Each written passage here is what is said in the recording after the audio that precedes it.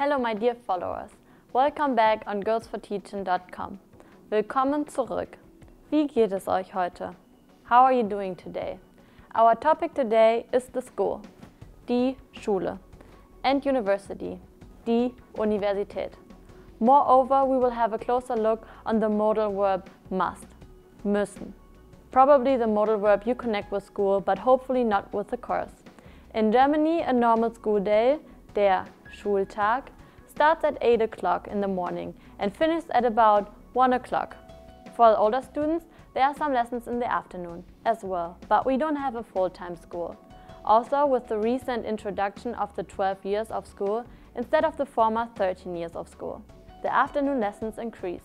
You have to go to school by law until your 18th birthday, but there's still a possibility to quit the normal school after the 9th or 10th grade and to go to a professional school. If you choose this way, you can't go to university afterwards.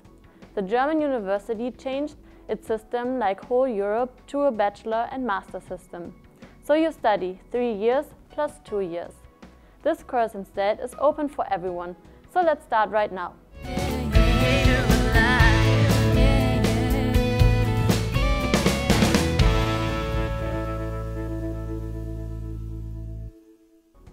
Okay, here we go. There's a lot of work waiting for us today. We start with the conjugation of the verb müssen, must, which refers as well to the expression to have to do something. Once again, the three singular forms are irregular, the three plural forms instead are regular. Here we go. Ich muss. I must. Du musst. You must. Er, sie, es muss. He, she, it must. Wir müssen. We must. Ihr müsst. You must. Sie müssen. They must. I hope you remember how to use a modal verb. Let's repeat it with a little dialogue.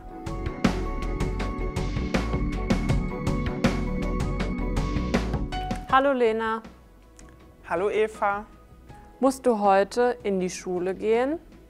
Nein, ich muss nicht in die Schule gehen. Es ist Samstag.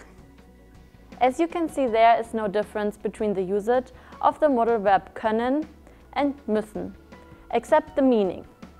Let's see some vocabulary on our topic school and university right now. Okay, first of all, in German we differentiate between male and female when talking about jobs. The teacher, therefore in German, means der Lehrer if he is a man and die Lehrerin if she is a woman. The same happens for the professor, der Professor, die Professorin, the pupil, der Schüler, die Schülerin, the student, der Student, die Studentin. There are other words which might be interesting when talking about school. For example,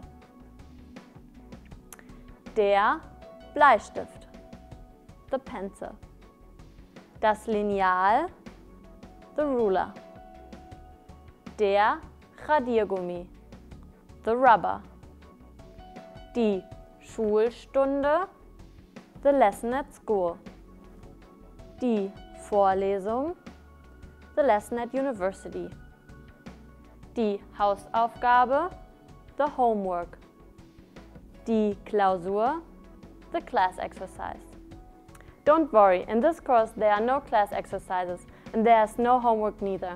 The lessons are quite short as well, so you hopefully won't get bored.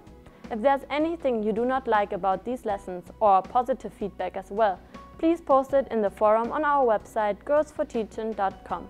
Of course, there's also space for your questions. We will see you soon at our next lesson. Can't wait. Kisses. Cheese.